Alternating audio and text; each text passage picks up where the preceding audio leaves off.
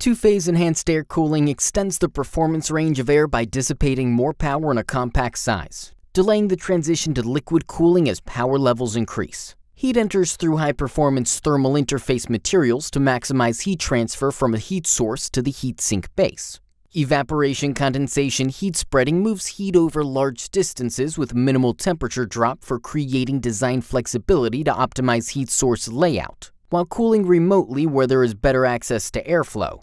Fluid evaporates at the base plate and travels through heat pipes that are 100 times more thermally efficient than copper or aluminum, condensing at the remote cooling region to release heat into fins. Condensed fluid flows back to the evaporator through a wick, even against gravity, to continuously repeat the heat transfer process with no moving parts for greater system reliability. Fans pull hot air from the fins so they can absorb more heat. Two-phase enhanced air cooling enables higher heat capacity, less airflow, and more efficient energy use and compact thermal management solutions for cooler components and high-power devices.